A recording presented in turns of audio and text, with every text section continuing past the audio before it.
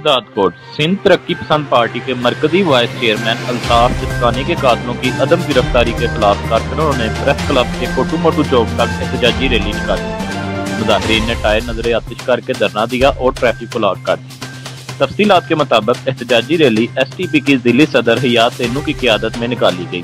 Rally का शुरा नारेबाजी करते हुए कोटू मोटू चौक पर पहुँचे मुजाहरीन ने धरना दिया और टायर नज़र आतिश करके ट्रैफ़िक ब्लॉक कर दी इस मौके पर ज़िले सदर हयात सेनू शबीर मक्सी साहद मक्सी अनीसुररहमान मक्सी और दिगर का अल्ताफ जसकानी के कत्ल के शदीद अल्फाज में मजब्बत करते हुए कहना था कि अल्ताफ जसकानी पार्टी का कीमती सादा थे।